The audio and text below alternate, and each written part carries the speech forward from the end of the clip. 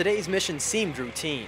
We were moving personnel and uh, mail up to uh, the Marines at uh, Morales Frazier for the embedded training team with the ANA. That's Marine First Lieutenant Matthew Lamb.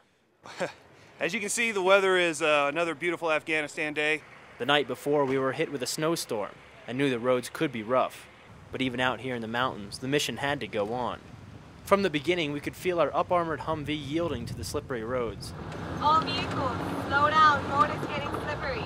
For security, we would pass slower vehicles on the snow-covered side of the road. But this pass by Vehicle 2 proved too much. Halt the convoy, Vic 1. Halt the convoy. We got a truck that's stuck on the side of the road, over.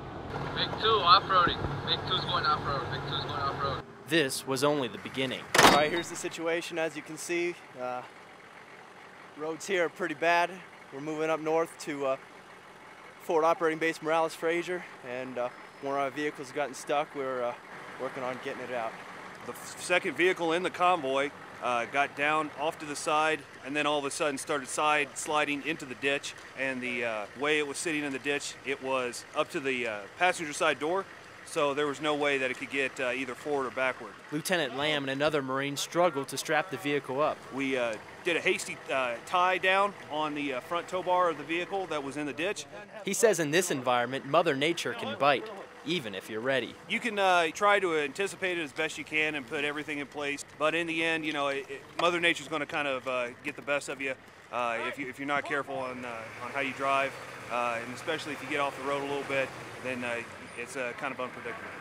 With Vehicle 2 out of the ditch, we continue on. Go, go, go! But not for long. Oh, oh, oh, look at that. He ran out the road? Vic 2, Vic 1, you need to pull me out. I should have stayed in Black Horse. Vehicle 4, three strips already done. We've got one.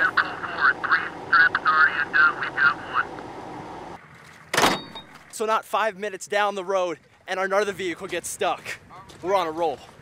It became apparent that due to the road conditions and then not being able to see off to our left and to our right, that it was going to be a, uh, a hazard if we tried to continue to move in and out of the uh, jingle trucks as we moved along the, the road. You know, unfortunately, we haven't learned the lesson for the first time. I said my first convoy, and this is the shit that happens.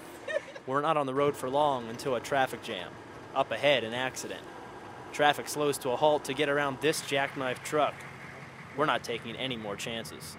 So the pace is definitely slowed down now. We're not passing vehicles like we were on the side. That's just how we got stuck. So now we're stuck behind trucks going a little slower.